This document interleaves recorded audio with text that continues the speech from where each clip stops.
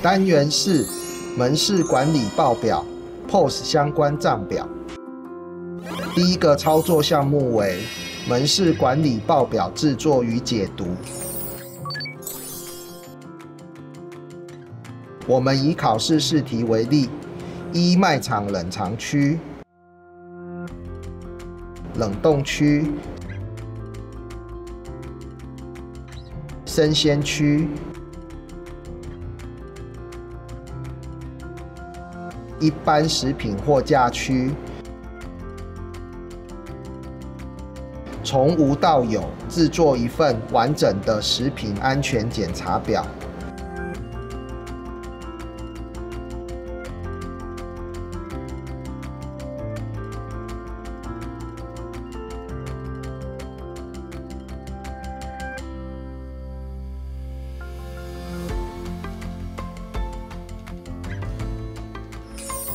这边要提醒同学注意的是，在检查项目时，我们要注意商品是否过期，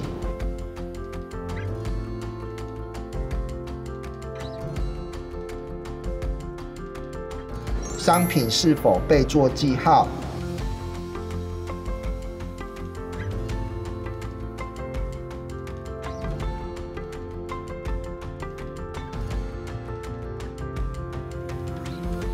以及商品包装是否破损。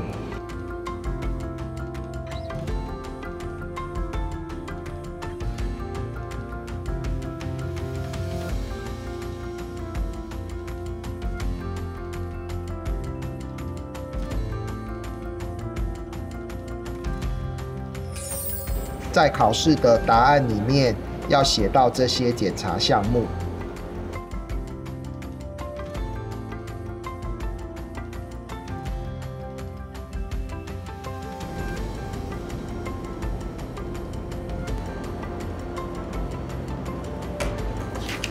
店长，你要我出食品安全检查表，我已经写好了，请店长看一下。好。商品没有过期，商品没有被做记号，商品包装没有被破损。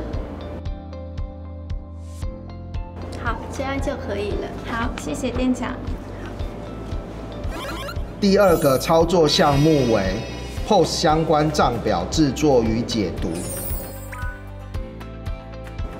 我们在考试的时候都会拿到一份完整的 POS 账表，同学要依账表上面相关的资料做计算来回答问题。例如，如果我们要计算悠游卡消费总金额的时候，我们可以从账表上面的第二十项悠游卡消费中发现，早班为一百元，中班为八百元，夜班为一百元，总消费金额为一千元。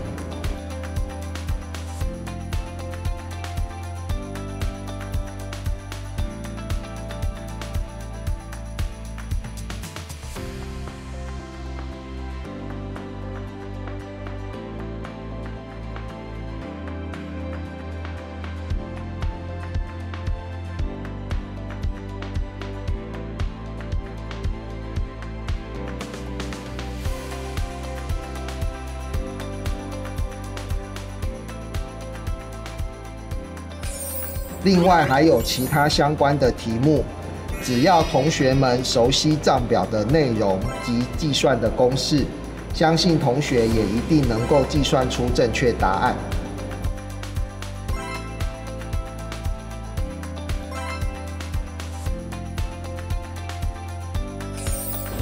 店长，就是今天的 POS 账表，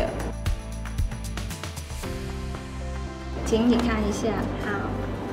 店长，我想知道悠游卡消费的金额。好，你看第二十项，悠游卡消费，早班是一百元，中班八百元，夜班一百元。总共是一千元。好我知道了谢谢店长。好。